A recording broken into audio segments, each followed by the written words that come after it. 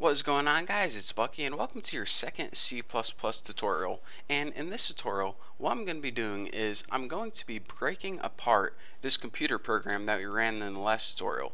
So if you remember, whenever we first created a project in CodeBlocks, CodeBlocks already made a very simple computer program for us for us to run and test out just to make sure everything was working. And all it did was it printed out hello world on the screen.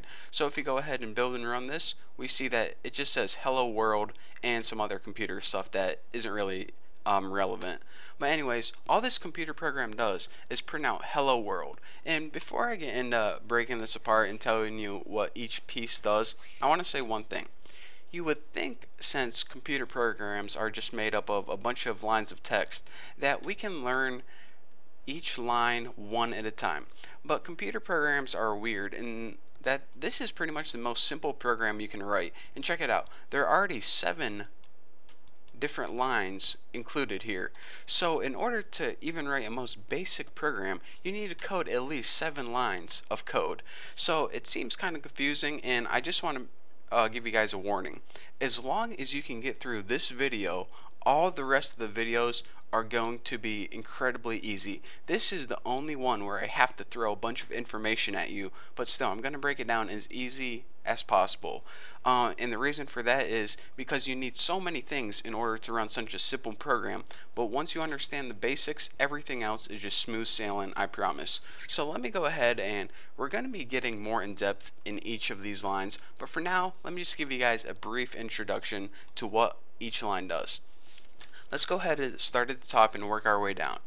This include IOStream line right here, this is technically called a pre-processor directive. So if you're taking a test, if you're watching these tutorials because, you know, maybe you're in C++ class and your teacher is kind of confusing you, answer on the test, this is a pre-processor directive.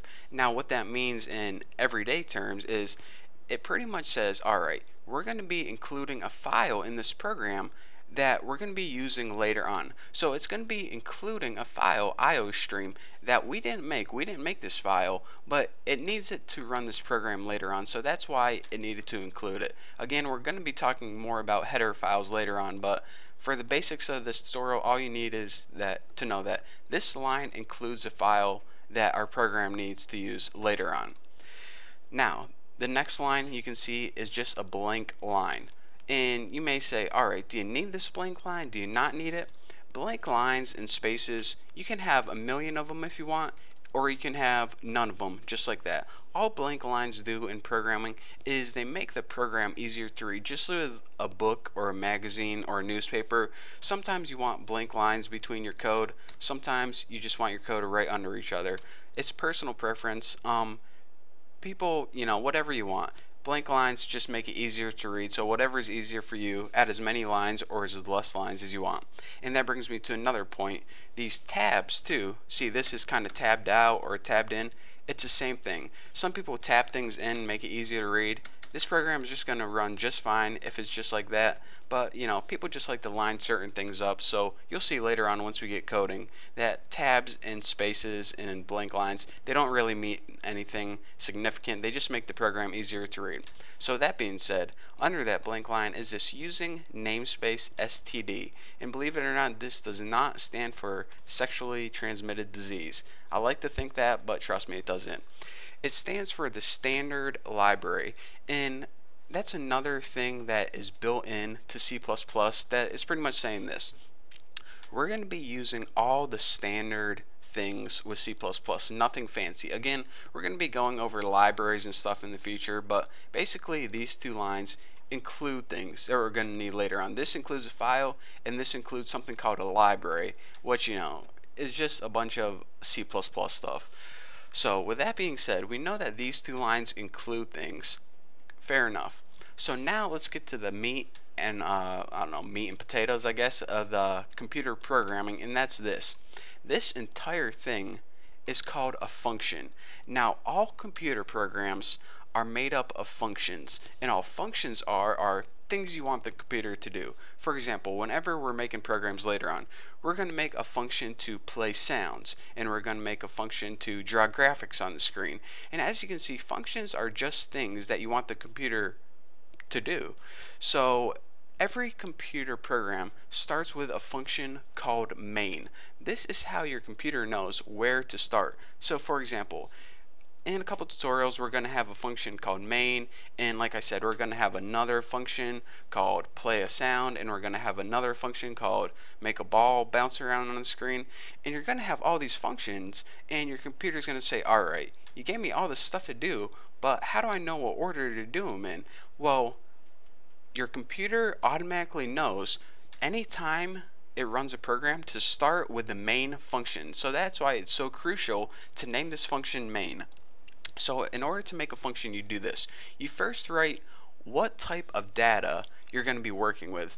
And what functions typically typically do is they do some sort of calculations. For example, find the body mass index or calculate the velocity of something.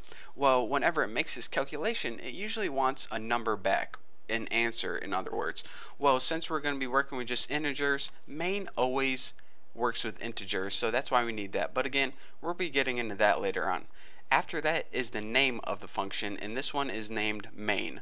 Um, don't worry about these parentheses right now, but what we do need to worry about is these little, uh, they're not semicolons, squiggly brackets, I, I guess they're called, curly braces, I don't know, whatever the heck they are. In this has an opening and a closing curly brace and in between them you have something called statements. Now all functions are made up of statements and all statements are, are basically instructions. And each instruction needs to end with a semicolon. That's why you see every line inside a function ends with a semicolon. For example if you had a function that says make a peanut butter and jelly sandwich one statement would be get out the bread. The next statement would be put butter on a piece of bread. The next statement would be put jelly on a piece of bread. The next, put them together. The last, put them in your mouth. Bam. You now have a function and a series of statements. Well, all this function did, the main one said, print out something on the screen and return zero. Simple enough. So now you can see the basics of a function, how they're made, and how every function needs to include statements or instructions. So that being said, let's break this down even more. The first statement is saying this. First of all, the cout thing right here, that's called an output stream object. And it's basically used to write characters on the computer screen. That's how we are able to type hello world on the computer screen. So this is always used in conjunction with this. This is called the stream insertion operator. This pretty much takes all this stuff to the right of it and prints it out on the screen. I mean, this is just, uh, you know, it's weird uh, symbols, but that's whoever made C++, they decided to use these weird symbols to print out something on a screen. Why they did, I don't know. You have to take it up with them. But anyways, this is basically how you print out stuff in the screen. So this prints out hello world, and then this pretty much just means end line or go to the next line. So this line right here is pretty much just saying print something out on the screen. Now this last thing I want to talk to you guys about is called the return statement. Now usually like I said functions will calculate something like body mass index or velocity and when they calculate it it's going to want an answer back. So if I had a function that calculated my weight it would return 155 or 160 depending on if I ate tacos or not today. Well the main function should always have return 0 and return 0 means whenever you return zero, it tells your program that it ran fine without any errors. For example, if you had a bunch of extra text right here, your computer program would give you an error and it would never get to this line right here, so it would never return zero. So whenever it does get to this line, it means everything above it ran fine and return zero means you are good to go, main ran fine. So I know that was a lot of information to give to you guys for just your first tutorial.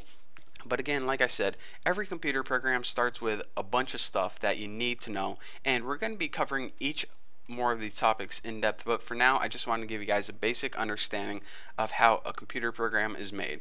So if you don't understand everything completely, then don't worry, you're not alone. You will in the future, I promise. But for now, thank you for sticking with me, and uh, thank you for watching this tutorial, and I can't wait to see you in the next tutorial. And if you have any questions, don't forget to check out my website, thenewboston.com, and uh, yeah, I'll see you in the next video.